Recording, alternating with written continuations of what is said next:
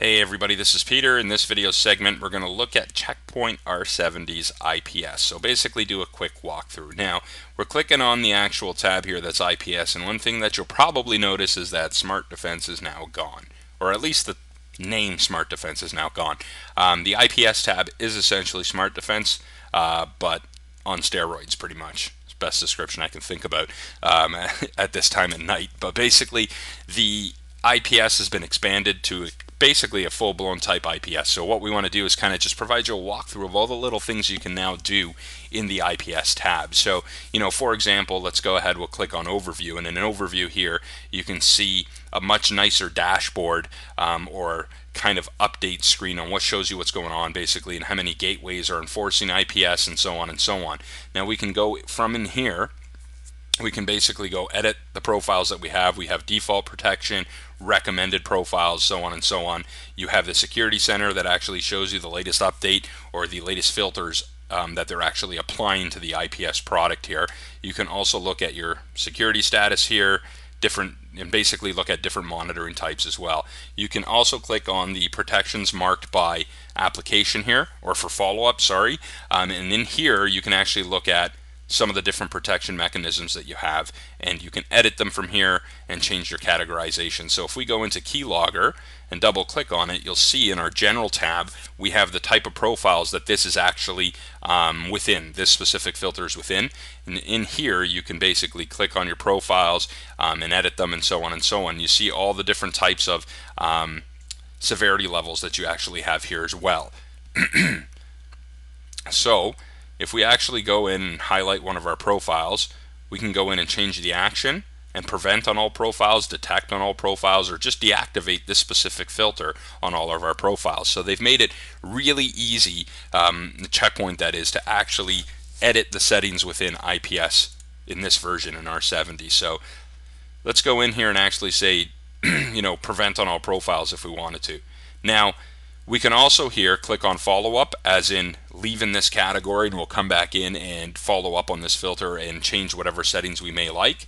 Or we can go into network exceptions here and go ahead and click on new. Now within here you can change the different profile or you can basically say from CorpNet so source CorpNet to you know external net and you can uh, edit the service here as well and apply this specific exception. So basically don't look at this specific type traffic um, from this network to this network. And you can apply it or block it um, in any case within the actual filter itself or you can just say apply this exception to this specific firewall.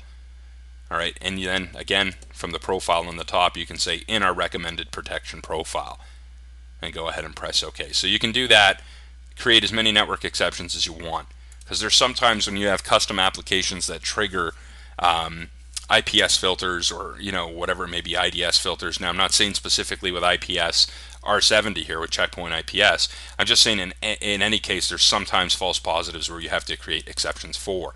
Um, cool part you get a description tab here that also shows you the attack ID, the last update, you know supported products, the threat description, how to mitigate it, and all that, and how it's detected. So we'll go ahead and press OK there. And provide more of a walkthrough here. So we can click on protection actions so we can see specific details, again, what we want to do with specific filters. Okay, or we can view that specific filter if it's being alerted within the logs. All right, so we're back in our profiles here.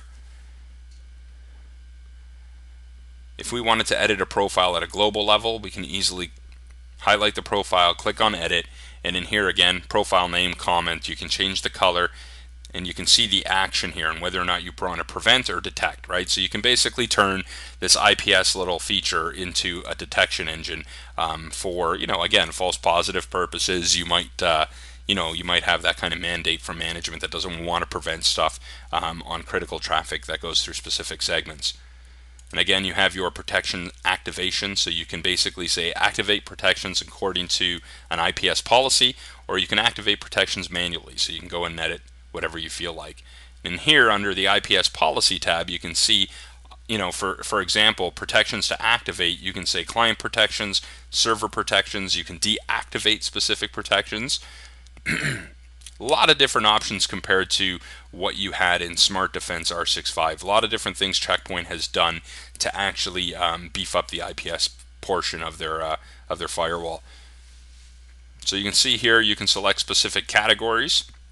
You know, in this case we select, you know, non-auto activation for denial of service type filters. You can put that in there if you feel like it. And again, within here globally, you can create um, network exceptions um, as well as here update your policies. Okay. So in your network exceptions, like I said, we have the one that we've created specifically for keylogger in here. You can add them here globally or you can edit them manually. Now in troubleshooting, detect only for troubleshooting, you can do this again. Um, if you were, you know, some sort of traffic was coming through your firewall, you've turned on IPS, um, IPS is causing something to block, or you feel like the IPS feature is causing something to block, you can turn it all on into detection mode basically to troubleshoot whether or not that is why specific traffic is being blocked through the firewall. All right, so when you press OK, it updates your settings for you. And again, we're not going to go through every single section here on the left-hand side because, well, there's a lot of different things you can look at within um, SmartDefense or now IPS. We just wanted to give you a quick walkthrough of, you know, some of the different changes if you're a SmartDefense uh, subscriber, um, some of the things you're going to get when you upgrade to R70. That's pretty much it, guys. Thanks very much for coming out. We will see you on the next one.